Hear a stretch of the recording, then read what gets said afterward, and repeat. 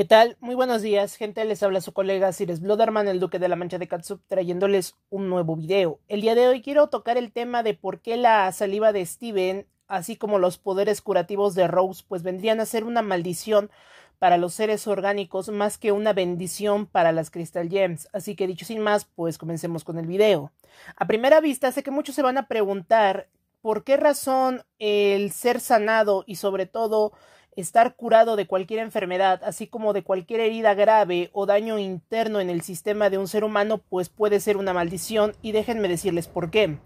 Algo que siempre he comentado a lo largo de Steven Universe, en base a las diferentes teorías y en base a los diferentes análisis, es el hecho de que Steven puede vivir mucho tiempo. Sin embargo, realmente es una maldición el vivir demasiado tiempo y como tal la inmortalidad, y ojo, la inmortalidad, la inmortalidad no hace alusión a la invulnerabilidad, que son dos cosas muy diferentes y que desgraciadamente la gente tiene en determinado concepto, pues realmente causa más daño o más caos en lo que vendría a ser un ser humano orgánico que en una gema. Como tal, las gemas al tener una mentalidad diferente y sobre todo al ser imbuidas en una forma de pensamiento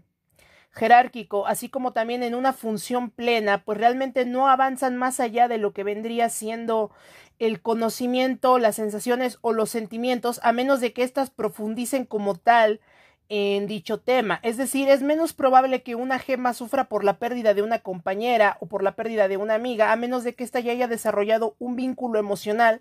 cosa que anteriormente no se daba en el planeta madre. En cambio, los humanos tenemos a ser más emocionales y sobre todo a dejarnos dominar en ciertos aspectos por las emociones, ya que no podemos controlarlos o como tal no podemos controlar aquella emoción o sensación en determinado momento. Así que lo que pasaría con Lars y lo que pasaría con la saliva de Steven, así como lo que también podría traer un trauma más, más grande a Steven, es que probablemente Steven en determinado momento, cuando empiece a perder a sus seres queridos o a sus amigos, trate de sanarlos o trate de usar sus poderes curativos para que estos adquieran el mismo patrón que Lars. Básicamente se vuelvan rosados y sobre todo pues ya no se enfermen ni tengan ninguna necesidad física así como enfermedad o probables daños. Sin embargo, y aquí es lo peligroso, es que en un ser humano esto sería una maldición y me van a decir por qué. Si recordamos a León, León, quién sabe cuánto tiempo estuvo esperando nuevamente a Rose Cuarzo, pero sí podemos asumir que le estuvo esperando por mucho, muchísimo tiempo, aún sin la necesidad de comer o sin la necesidad como tal de tomar agua, ya que él se encontraba en un desierto. Y aunque es verdad que podía usar sus poderes de teletransportación por medio del rugido, nada nos asegura que éste realmente lo haya hecho. Quizás probablemente él se quedó todo ese tiempo esperando ahí sin comer y sin tomar agua. Ahora, la saliva de Steven al parecer posee un poder de recuperación a tal punto que de cierta manera no descarta las necesidades biológicas, pero en sí prolonga el estado o la vida de una persona sin el requerir el consumo de alimentos, tomar agua o inclusive dormir.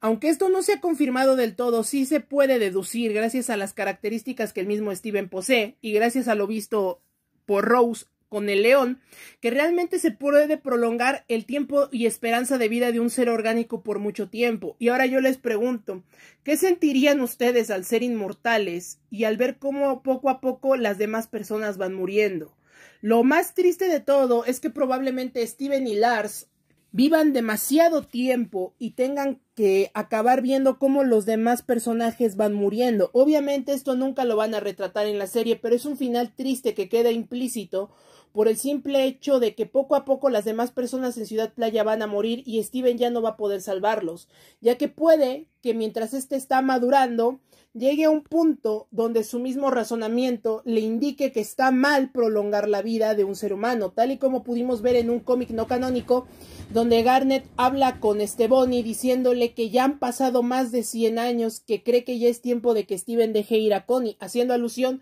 de que probablemente cuando estos dos se defusionen, el golpe de tiempo va a afectar tan rápido y tan duro a Connie que de esta manera ella va a morir.